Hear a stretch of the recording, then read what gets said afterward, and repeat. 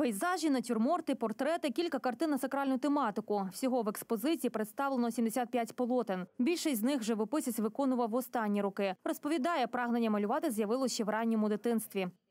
Надихнуло мене, правду кажучи, коли маленький був, там ми ходили в ліс, маленькі сакіни діти із братом. Ішов, а син попа Матейча вчився в Ушгороді, а він малював якраз фіалки.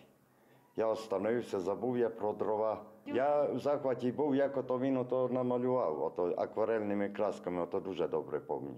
Закінчив Василь Гудин Ужгородське училище прикладного мистецтва з відзнакою. Згодом працював у художніх майстернях Виноградова. На багатьох роботах, які нині презентує рідна Виноградівщина та село, де народився Шаланки. Таке воспоминання, виходить, колись було в нас. Ото тут тепер желізна, і туди проходила там желізна дорога туди, а тут таке було гемочар. Дитячі спогади те, що досі гріє душу. Цю теплоту і намагається передати на своїх полотнах.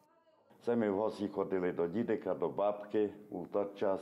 Всякі були обручі желізні з бочок, то любили ми гоняти. Ну і всяка була хижа, веранда на веранді постійно.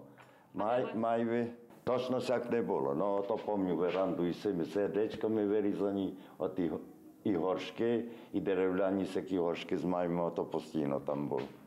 Також любить живописець малювати осінь. Цю пору року бачить яскравою та барвистою. Його роботи цікаві е, такою е, душевним, душевним настроєм, особливо осінні пейзажі. Я так можу сказати, осінь цвіте. Навіть сам е, символічний жовтий колір чи оранжевий це теплота, це дуже теплота. І мені здається, що то має такий зігрівальний ефект. Якщо говорити таке для оглядачів, це зігрівальний ефект. Художник переконаний, кожна картина повинна викликати у глядача піднесення та лише позитивні емоції. Щоб краски радували оту душу людині, що дивиться. Коли пензлик у руці на душі має бути, ото якщо хочеш робити. Бо то людям не собі малює, а людям малює. Присвячена персональна виставка ювілею митця, адже вже наступного року Василь Гудин відсвяткує свій 70-й день народження.